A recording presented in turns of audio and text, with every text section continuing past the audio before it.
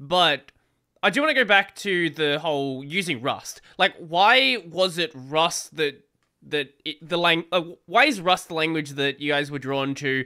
What is the value in this language? And you know, just go with that, I guess.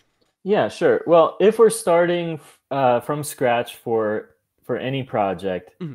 uh, we don't really have anything to bind us to any other programming language, and in that kind of free field, it's very hard to rule out Rust as the the language to start with. Okay. It is statically typed, which is important for preventing errors that happen all the time in dynamic programming.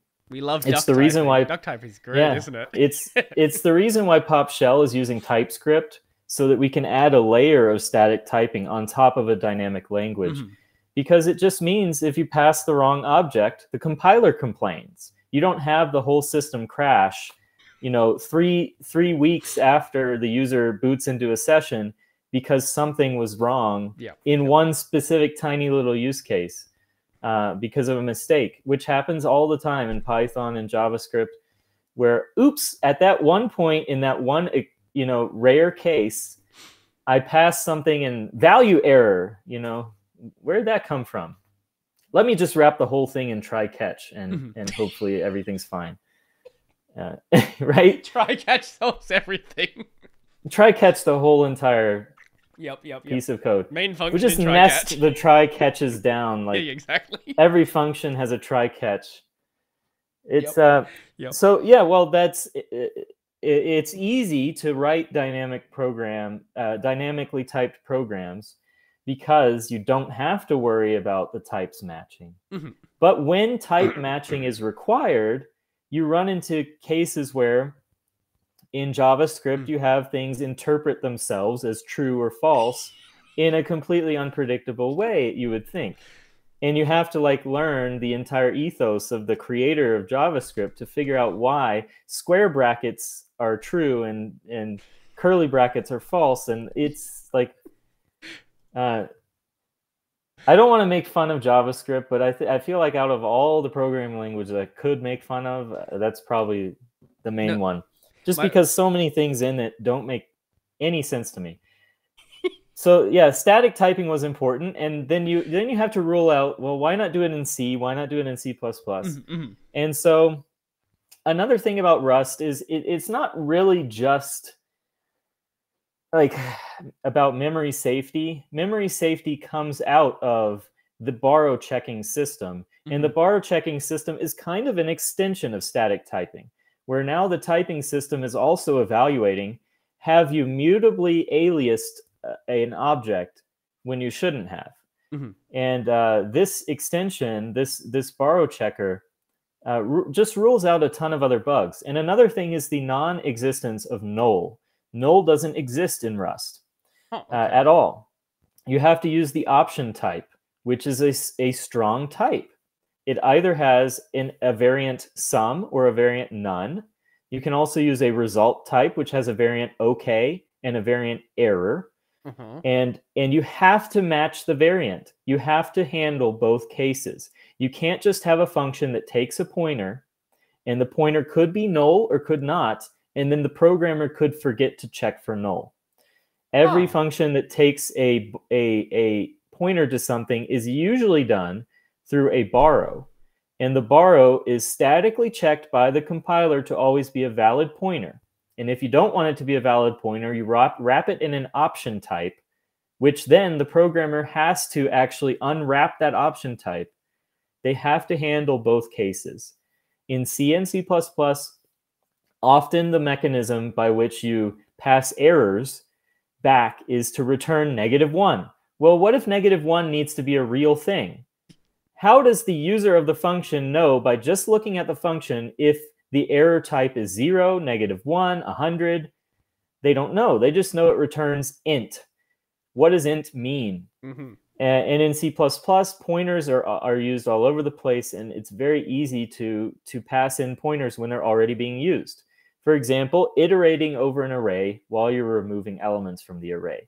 In Rust, you are not allowed to do this unless you do it the correct way. Mm-hmm. In C++, it is very easy to get seg faults because you've removed an element at the same time that you're iterating an array. Yep, yep. So these are all all things that a stronger type system prevents. So I'm I'm I'm very into types and I would have gotten into Haskell if I had a PhD in applied mathematics, but I don't. So I'm not into Haskell. Uh, so I got into Rust, which is like the next best thing. hmm As you were going through those uh, those examples, I was thinking back to my software engineering classes, and I was I was thinking back on every single time I did Yeah. exactly what you were saying. yeah, Yeah, and it's not so and and the apologists will say, well, you just have to get better. yeah, You just get have to better. get Get better. good. and I, I I don't think that's an answer because people don't there is a limit to to the ability to understand a system. And when you drop somebody into the Linux kernel and it has, you know, 6 million lines of code or whatever it is at now, you can't expect them to to understand every other part that they're interacting with. Well, it's it's and not all those parts have to work for the whole system to not have bugs. It's not just that. Like, if you can get the computer to do that checking for you, like, why would you bother doing it yourself? Like, go just you know go wash your clothes by hand. Why would you use a washing machine? Like, no pointing that. Like, you can just do it manually. Oh, well, washing machines, don't you know that they have the 5G signals that communicate with your COVID implant and blah, blah, blah? Look, there are some really crazy like people out there. you were joking about the 5G thing, but I guarantee there are actually washing machines that are like There have to be washing machines with 5G. Yeah, there are so many surely. smart. Why does anybody need a smart washing machine? I I, don't don't know, know. but they're they are there. They exist. A smart refrigerator. Yep. Why? So it can fail. So it can just so it can play Doom. there's a software bug and then all your food rots because the software bug turned off the refrigerant. It's the same reason why cars may have a ton of of things going through the entertainment system, hmm but usually they try to segment out a few of the critical things like do the brakes work through the entertainment system? I don't think so. I don't think so. Maybe on a Tesla. I was gonna say maybe on a Tesla. but probably not on most cars.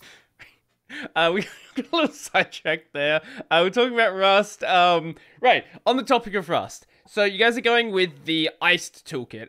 I don't know anything about Rust GUI toolkits, but what were the other options at the time you guys were considering?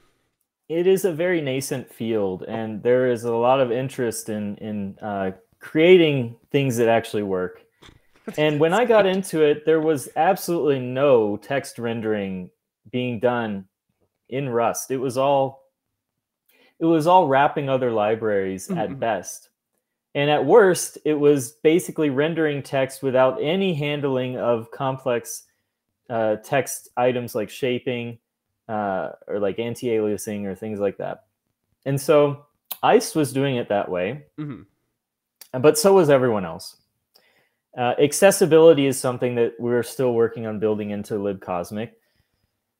So it's it was really hard to come in and evaluate any of these because so many things would have to be done in house for it to be finished.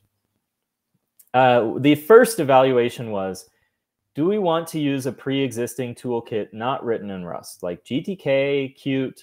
Do we want to use one of those? And um, we eventually decided not to, and it was a very tough decision. On the GTK front, it was primarily due to the attitudes of the GTK developers towards how we were doing theming on Pop OS. Mhm. And although technically it's probably still possible to theme libadwaita and to theme GTK4, Mhm. they have made it tougher on purpose, and that does not give us confidence in the future Mhm. of, of the platform. For Qt, our, our main issue with Qt was our, our difficulty to integrate it with Rust because we still wanted to write the business level code that controls the UI, the, the GUI in uh, in Rust, Mhm. and we wanted to integrate that as tightly as possible. And GTK RS is really good. It, it was easy to use the GTK wrappers for for Rust, Mhm. um, but we just didn't trust the platform. And and for Qt, it was difficult to use the wrappers for Rust. So that led us to the thing. Well, if if we'd have to work on either of these either way, either we'd have to trust we'd have to bring ourselves to trust GTK to to continue working for us Mhm. and our use case is definitely strange because we will be loading custom custom theming into the application based on the the uh, the user's config files, Mhm. and that was that was something that we weren't sure was going to last in GTK. Uh, and then um, yeah, on the Qt side, we we would have to do work to improve their bindings for Rust.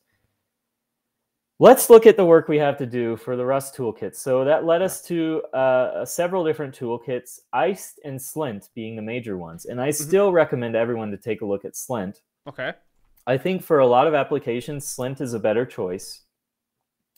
Iced integrates directly into Rust. Slint has a, a layout uh, language. Mhm. And I think depending on your preferences, one is going to be easier than the other. And for for us, we decided to go with Iced. Uh, at the time, it seemed to be a more flexible option, but Mhm. Slint has done a lot of work recently to improve. So now it's kind of if I was going to recommend a toolkit, it would be either Iced or Slint. And we had to flip a coin and decide to go with one. Mhm. Um, and uh, we we went with Iced and and Did you guys uh, do any like had- prototyping early on just to mess Oh, around yeah. with the languages? we did prototyping. good We did prototyping in GTK, uh, and and we did prototyping in Iced and in Slint, and and the the uh, ability to wrap Iced in another library was particularly impressive. Mhm. Uh, just the way that it exposes things and it's composable at, at a code level. Mhm, mhm. I, I think it makes it a little more difficult to use at a higher level uh, for someone who wants to draw up a, a design in a design editor, Mhm. something like Glade or or Qt Creator or Qt Qt Creator, um, which I've used Qt Creator a lot. I used to do a ton of C stuff. Uh, so so anybody from the C world who's mad about the stuff I say, just realize I used to not understand, just like you but now I know the glory of Rust. Um, so yeah, I, I i'm aware of those, and I think Slint they provide like a website editor Mhm. uh, to mock things up, and and uh, they they did some work to integrate our cosmic theme, and that was recently something they published, and it looks really great. Uh, wrapping it into into Rust and creating custom widgets the way we wanted to do, and it just iced was something that appealed to to us Mhm, mhm. it also follows an elm like structure uh, which a number of people on my team were interested in uh, we had been experimenting with Relm4 which is a wrapper for gtk 4 that ex- that has a elm like structure as well Mhm. and iced was a little cleaner in terms of following this model because it, it was able to to separate things out that using GTK would be difficult to separate. Yeah, at the end, we had a lot of work to put into Iced. Uh, for example, I had to spend about a month just re-implementing like all of the pieces of shit about text layout uh, that that nobody thinks about but have to work before you have a working toolkit. Mhm. And so that became Cosmic Text.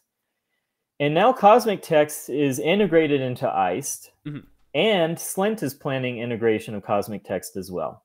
Okay, wow. So that was something created by System 76, the, the first pure Rust shaping and rendering solution. It integrates some other libraries that were very important.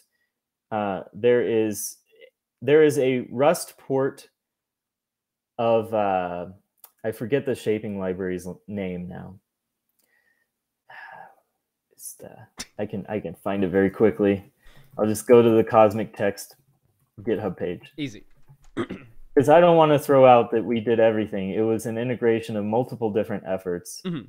Uh, it did require a lot of System 76 work to get to get everything working. Uh, Shaping. Who does shaping? shaping is provided by Rusty Buzz. It is Rusty Buzz. Yes, Rendering is provided by Swash. Right. And Rusty Buzz is itself a Rust port of Harfbuzz, which is the name I was Ah. looking for. Um, and that uh, that solution basically Swash Swash was able to render everything. Rusty Buzz was able to shape everything, but combining the two and actually doing layout is an Mhm. incredibly complicated task that no one had really attempted yet Mhm. in Rust. And so a lot of Rust libraries were either not handling international text correctly or they were um, they were wrapping very large C libraries to do the same thing. Right, right. And you can use GTK and just do that and GTK RS, but then the majority of your code is actually C. And you're using Pango and Cairo and Harfbuzz and FreeType and those C libraries to to uh, handle shaping and layout. Mhm, mhm. Um, and, and font fallback is another thing that people usually don't think about, but is something completely in, in, integrated into Cosmic Text and not from an external library. So you have to scan the system for all fonts, and you have to have a list of fonts that are preferred for each like uh, script. Right. Like if you have Hindu script, you need to have a set of fonts for every operating system that are preferred, and you need to find which font has the right character. And you need to do this for every single character. So it ends up adding up quite a lot and being a very difficult performance problem. So caching the results of that and ensuring that that every single group of characters that could be ligatured together got the right font uh, is a lot of the parts of cosmic text Mhm. and yeah so in the end we were able to add international text handling to iced slint is going to going to have it as well using cosmic text. Accessibility is something we're working on. And those are things we had to take on because we wanted to do a rust toolkit. It was a very nascent field as i said still is in many ways. So whilst your goal is improving Iced for like the the use of cosmic, it is having a a wider effect on the general Rust GUI space. Yeah, Cosmic Text is is now being evaluated by a ton of different toolkits if it's not already being used by them. So not just Iced and Slint, but also Bevy, the game engine, is looking at integrating Cosmic Text. I think eGUI, if I remember correctly.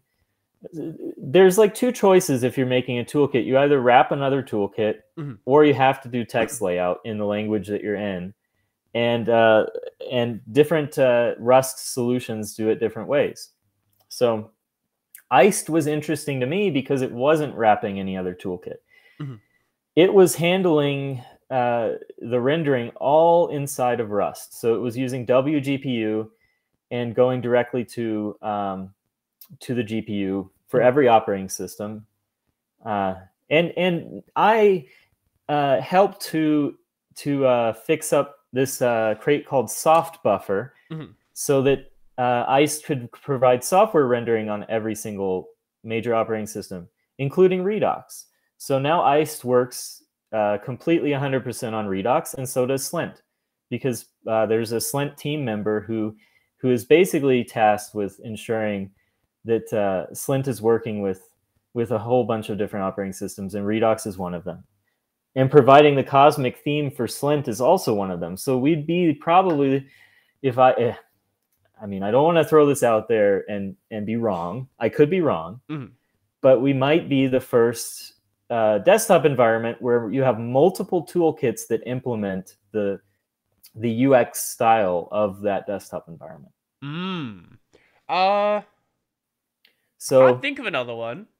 yeah, Yeah, I, I- no, I, I- I was saying I can't think of another one. you have KDE and you have Qt, you have GTK and GNOME, Yeah, you have uh, you have XFCE and and GTK. GTK three. uh, GTK three, right. which I mean I, I prefer in some ways. Yeah. Uh, but yeah, it's a it's usually a one to one ratio, and now we're talking about multiple different different ones, and they're all going to load the cosmic theme. And the i- the concept is that we want to have uh, a a overall set of of GUI libraries that any Rust GUI developer can use Mhm. and they can be assured that the whole entire stack is Rust. So all the way from from their code down through the toolkit, down through the rendering libraries, to finally the, the interface with the operating system, and that's where it cuts off. Unless they're on Redox, then it keeps going all the way.